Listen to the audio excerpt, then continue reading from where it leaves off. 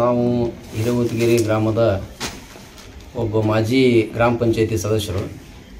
ಈಗ ಹೊಸ ಬಡಾವಣೆಯಲ್ಲಿ ನೀರಿಗಾಗಿ ಹಾಗೂ ರಸ್ತೆಗಾಗಿ ಹಾಗೂ ವಿದ್ಯುತ್ತಿಗಾಗಿ ನಾವು ಈಗ ಒಂದು ವರ್ಷದಿಂದ ಹೋರಾಟ ಮಾಡ್ಕೊತಾನೆ ಇದೀವಿ.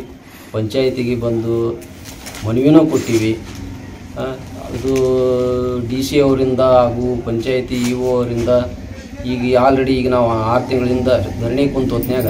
ಶಾಂತಿಯುತ ಪ್ರತಿಭಟನೆ ಮಾಡ್ಕೋಂತ ಕುಂತ ಹೊತ್ನ್ಯಾಗ ಅವರೇ ಸ್ವತಃ ಬಂದು, ನಿಮ್ದು ಏನೇ ಸಮಸ್ಯೆ ಇದ್ದರೂ ತಿಂಗಳೊಳಗಾಗಿ ಬಗೆಹರಿಸೋಣ ಅಂತ ಹೇಳಿದರು. ಅವರ ಒಂದು ಇದ್ರ ಪ್ರಕಾರ ನಾವು ಇಲ್ಲಿಗೆ ಸರಿದ್ವಿ. ಇನ್ನೂವರೆಗೆ ಆದ್ರೂ ಈಗ ನಾವು ಮತ್ತು ಅದೇ ರೀತಿ ಹಿಡಿತೀವಿ ಅಂತೇಳಿ ನಾವು ಈಗಾಗಲೇ ಹದಿನೈದು ದಿವಸದ ಹಿಂದೆ ಒಂದು ಮನವಿನೂ ಕೊಟ್ಟಿವಿ ಮತ್ತು ಪಂಚಾಯತಿಗೆ. ಮಾನ್ಯ ಶಾಸಕರಿಗೂ ಹೋಗಿ ಭೇಟಿಯಾಗಿ ಬಂದ್ವಿ. ಯಾವುದೇ ಸ್ಪಂದನೆಯೂ ಸಿಗ್ತಾ ಇಲ್ಲ. ಇದರಿಂದ ನಮಗೆ ಮುಂದೆ ಏನು ಮಾಡ್ಬೇಕು ಅನ್ನೋದನ್ನು ತಿಳಿವಲ್ದಾಗಿದೆ ಈಗ ಬರುವಂಥ ದಿನಗಳು ಬೇಸಿಗೆ. ನೀರಿಂದು ಆಹಾಕಾರ ಜಾಸ್ತಿ ಆಗಕತ್ತಿದೆ. ನಮ್ಮಲ್ಲಿ ಮಾತ್ರ ನೀರು ಒಂದು ಹಣಿ ಕೂಡ ನೀರಿಲ್ಲ. ನಾವು ಇದಕ್ಕೆ ಮುಂದೆ ದಾರಿ ಆದರೂ ಏನು ಮಾಡಬೇಕು?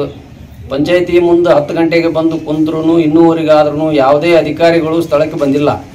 ಪಂಚಾಯತಿಯಾಗ ಪಿ ಡಿ ಒ ಅದಾರೋ ಇಲ್ಲ ಗೊತ್ತಿಲ್ಲ, ಕಾರ್ಯದರ್ಶಿ ಅದಾರೋ ಇಲ್ಲ ಗೊತ್ತಿಲ್ಲ. ಇಲ್ಲಿ ಯಾರು ಅನ್ನೋದನ್ನೇ ಇಲ್ಲ ಇವಾಗ. ನಾವು ಬಂದು ನಾವೇ ಸ್ವತಃ ಬಾಗ್ಲ ತೆಗೆದು ನಾವೇ ಕುಂದ್ರಂಥ ಪರಿಸ್ಥಿತಿ ಬಂದಿದೆ ಈಗ. ಅಂಥದನ್ನು ಮಾಡಿಕೇಶ್ ಕುಂತೀವಿ ಇವಾಗ. ಮತ್ತು ಇದಕ್ಕೆ ಯಾರಾದರೂ ಬರ್ತಾರೋ ಬರೋಲ್ಲ ನೋಡೋಣ. ಮತ್ತು ಇನ್ನು ಮುಂದಿನ ದಿನಮಾನದೊಳಗೆ ನಾವು ಮತ್ತು ಉಪವಾಸನೂ ಮಾಡುವಂಥ ಪರಿಸ್ಥಿತಿ ಬರುತ್ತೆ.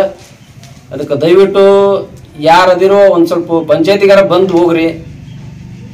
ಅಥವಾ ಏನು ನಾವಾದರೂ ಬಂದು ಕಂಪ್ಲೇಂಟ್ ಕೊಡಮ್ಮ, ಏನು ಪಂಚಾಯತಿಯಾಗ ಯಾರೂ ಇಲ್ಲ, ಕಳೆದಾರ ನಮ್ಮ ಪಿ ಡಿ ಒ ಕಾರ್ಯದರ್ಶಿಗಳು ಅಂತೇಳಿ ಕೇಳೋಣ ಹೆಂಗೆ.